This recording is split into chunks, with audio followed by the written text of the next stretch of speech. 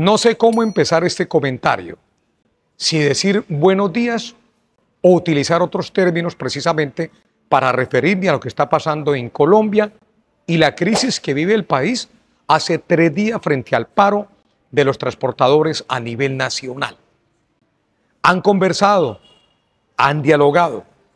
hay principios de acuerdo, pero el problema en general no se subsana todavía hoy miércoles cuando estoy emitiendo este pronunciamiento. Lo cierto es que hoy las ciudades capitales del país, las ciudades intermedias y las vías nacionales están prácticamente todas bloqueadas. La situación no es la mejor para los sectores de la producción de nuestro país y no voy a identificarlos uno por uno porque tardaría demasiado en nuestro comentario, pero son todos los sectores productivos que mueven la economía en Colombia, incluso el sector transporte,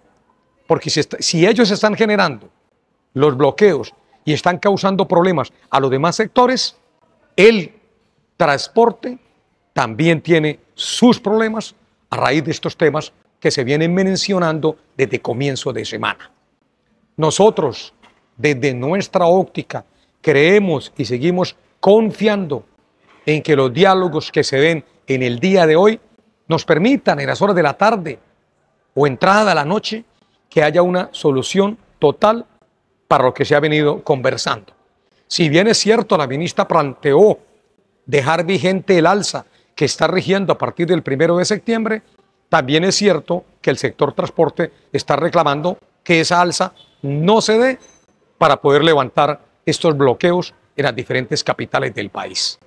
Desde Cúcuta, desde donde nos encontramos, donde la ciudad está prácticamente a medias en un 50%, confiamos en que el gobierno atine en esas conversaciones, se sienten como lo van a hacer en el día de hoy a la mesa y lleguemos a unos prontos acuerdos en donde no hayan ni ganadores ni vencidos, porque se trate de sacar al país adelante. Eso queremos todos nosotros en nuestro país. Buen día para todos.